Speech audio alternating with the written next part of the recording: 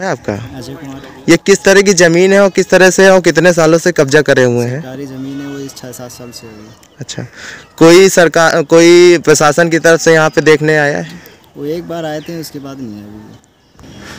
ये प्रकरण आज मेरे संज्ञान में आया है और इस संबंध में तहसीलदार सदर व एसडीएम सदर से वार्ता की गई है और उन्हें एक टीम बनाकर राजस्व विभाग की टीम जाकर वहाँ पर पैमाइश कर ले। यदि इस संबंध में कोई भी शिकायत सही पाई जाती है तो नियमानुसार कार्रवाई की इस संबंध में तहसीलदार सदर और एसडीएम सदर से वार्ता की गई है और एक लेखपाल और पूरे राजस्व विभाग की एक टीम बनाकर तीन सदस्यीय टीम जाएगी और वहाँ पर अभिलेखों का परीक्षण कर लेगी।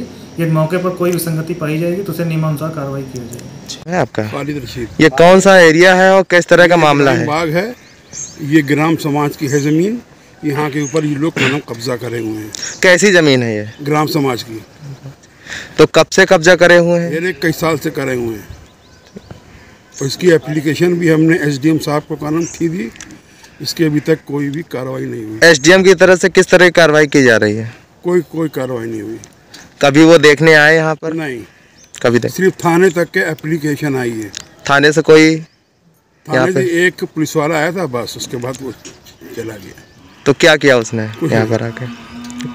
कितने सालों से ये यहाँ पे झोपड़ी डाले हुए हैं? अरे कम छः सात साल हो गए होंगे गाँव वाले ये कहाँ के रहने वाले हैं? यहीं के इब्राहिम बाग के। अच्छा।